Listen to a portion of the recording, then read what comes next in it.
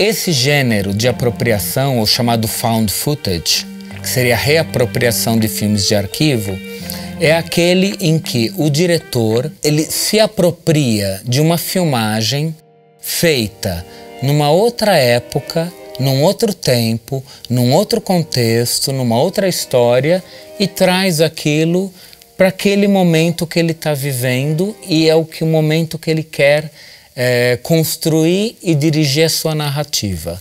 Produtor, tenho medo de me comprometer. Eu também não acredito em mais nada. Num filme de found footage, você vai tentar ralentar a velocidade, você bota para trás, para frente, você coloca um negativo, coloca um positivo, faz uma intervenção de textura, alguma coisa que signifique uma reencantação daquela imagem, né? Então acho que assim, tem que ter uma consciência da história que aquilo é pertencimento de um tempo e ao mesmo tempo um encantamento daquilo que pode significar hoje. Meu doutorado tinha essa questão do found footage, o primeiro pós-doutorado tinha found footage e agora esse segundo eu procuro discutir até que ponto a reapropriação de arquivo pode ser um método não só para os estudos do cinema, como para a criação do cinema. Inclusive, uma coisa que eu lancei no meu, no meu doutorado, que o cinema brasileiro não começou como uma filmagem original, tipo um sujeito filmou alguma coisa. Que um cara se reapropriou de uma filmagem filmada por uma outra pessoa. No caso, é o Cunha Salles, um brasileiro, que depositou um fragmento de filme no Arquivo Nacional, argumentando que ele era o dono daquele processo de cinema, de filmagem, de copiagem, de reprodução e de exibição.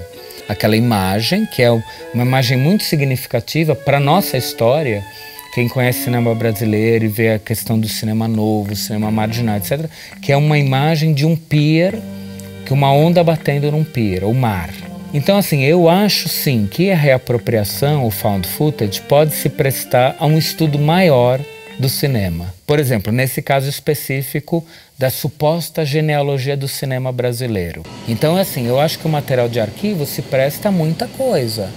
Tanto uma reportagem de televisão, como, por exemplo, o que eu faço, que simplesmente eu liquido o material de arquivo, ou seja, não existe mais a referência do que era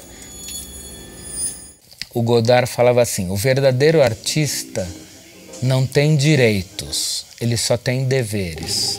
Isso por conta, quando perguntaram para ele, é tipo assim: ah, mas você fica roubando material de arquivo de tudo quanto é fonte. E aí, como é que fica essa história? Por exemplo, a ideia da imagem dialética do Benjamin. Ela resolve para mim uma série de coisas porque tem aquela ideia é, poética da fulguração, quando você encontra o passado e o presente, o que, que o passado e o presente gera desse conflito.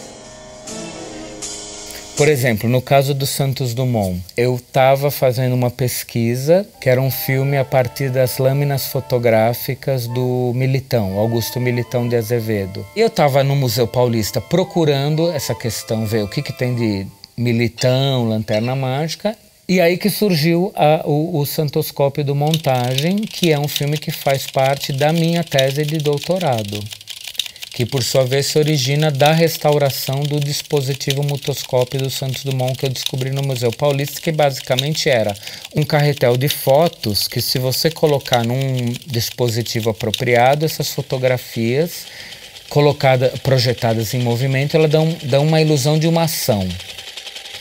E isso é uma reprodução de um filme. Mas só que o que chegou até nós é só esse carretel de fotografias. Encontrei. Não é só para mostrar que o Santos Dumont é para ver o que, que aquela materialidade, aquele documento estético, físico, textura, ele tem de entusiasmo. Ah, eu quero que ele viva, né? Essa é a ideia.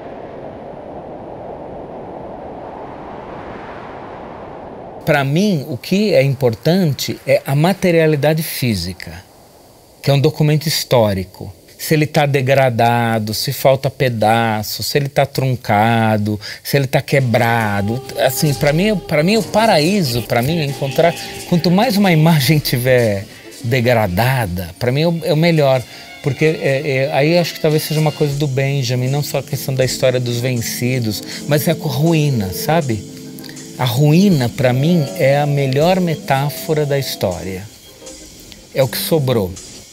O que chegou até mim hoje é isso. É o que eu tenho para fazer um filme hoje. Eu não tenho ambição de reconstruir, sabe? Mas eu, como artista, eu me coloco na posição de responder poeticamente aquele universo sei lá, duas fotografias, eu transformar num filme de 10 minutos, então assim, para mim aquilo é um desafio. Eu não posso conversar com uma pessoa que morreu há 100 anos atrás, mas com a obra dela eu posso. E é não só uma forma de ela e, sobretudo, a obra dela se manter viva, mas, sobretudo, como eu me manter vivo porque tanto o meu doutorado como o pós-doutorado tinha uma parte escrita e um filme. Então a, a feitura do filme está contaminada por isso, pelo mesmo parâmetro de um rigor de uma pesquisa conceitual teórica. Então tento traduzir isso para o filme. Corta. Found footage. Corta. O grande achado. Corta. Eureka. Nós viramos um arquivo, né? Nós. E o que, que a gente faz com isso? Chora, né?